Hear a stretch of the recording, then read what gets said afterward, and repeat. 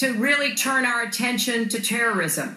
We're working with our friends in the Middle East, many of which, as you know, are Muslim majority nations.